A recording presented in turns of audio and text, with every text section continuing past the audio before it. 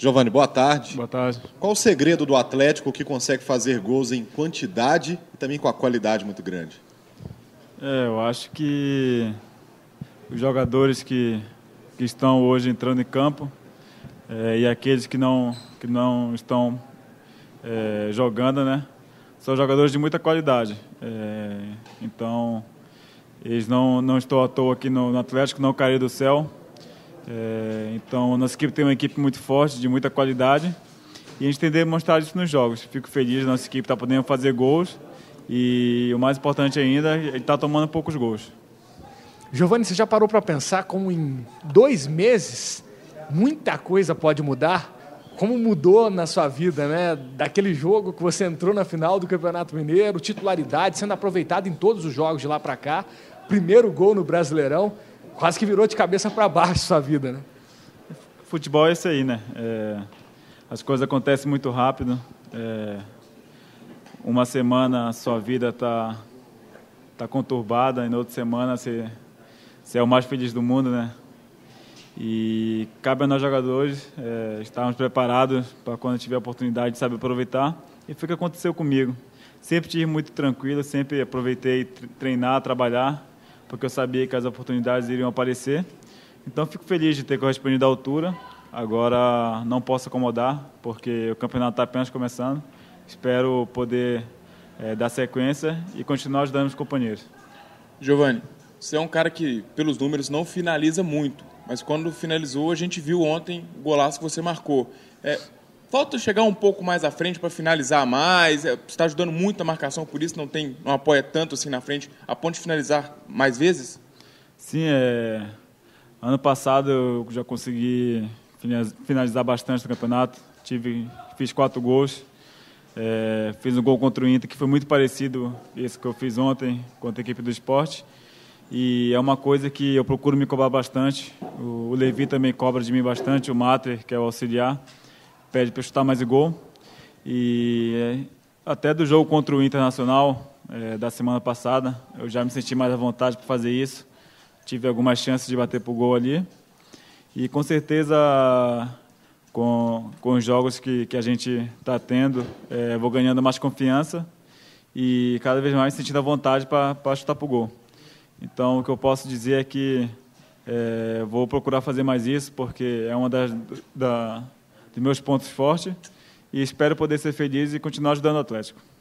Giovanni, o fato de ter feito o primeiro gol no campeonato, um golaço, no Mineirão lotado, perto do torcedor, serviu para te aproximar ainda mais dele? Aqueles que ainda estavam um pouco desconfiados com você, você acha que agora estão ficando mais seduzidos, digamos assim? Sim, é, eu acho que não poderia é, ser em outro momento, né? Ontem realmente o Mineirão estava tava um espetáculo, estava muito lindo. A torcida compareceu, nos apoiou. E eu fico feliz de ter esse reconhecimento. Na minha saída ali eu fui aplaudido pelos torcedores. E é isso que a gente busca, né? Todo jogador sonha em, ser, em ter um reconhecimento da torcida, porque é a torcida que nos move, é a torcida que, que nos apoia e que nos faz levantar cedo é, todos os dias para a gente trabalhar. Então, o que eu posso falar para a torcida é que toda vez que eu entro em campo, eu entro para dar o meu máximo e ajudar meus companheiros. Então, fico muito feliz de ontem ter poder é, ter feito esse belo gol e ter ajudado a, a meus companheiros e a torcida ter ido embora para casa feliz. Luan, o oh, Giovanni, o, o Luan está treinando aí. O Levi falou ontem que ele deve voltar. Marcos Rocha ainda volta contra o Corinthians, mas focando um pouco mais no Luan, que deve já ter, pelo menos para o banco nessa partida contra a Ponte. Qual é a importância de ter um jogador como o Luan voltando e pensando em titularidade, quem que você pensa que pode ficar mais pressionado com essa volta do Luan?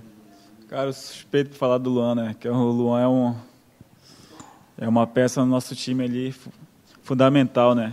Ele que que tem um gás impressionante. Ele chega lá na frente para finalizar, consegue desarmar a equipe adversária. E eu estava metendo uma pressão nele no DM, todo dia eu dava uma passada ali, né? Conversava com ele, falava que a nossa equipe estava precisando dele.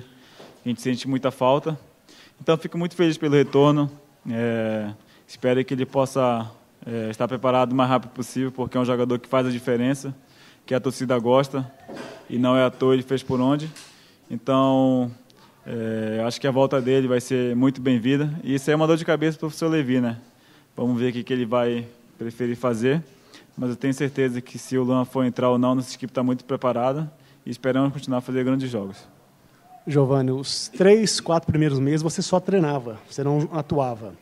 Depois você passou a ser o jogador reserva mais, mais acionado pelo Levir, assumiu a titularidade. Uma dificuldade no começo, até por ter ficado quatro meses parado, mas o Levir sempre te manteve no time.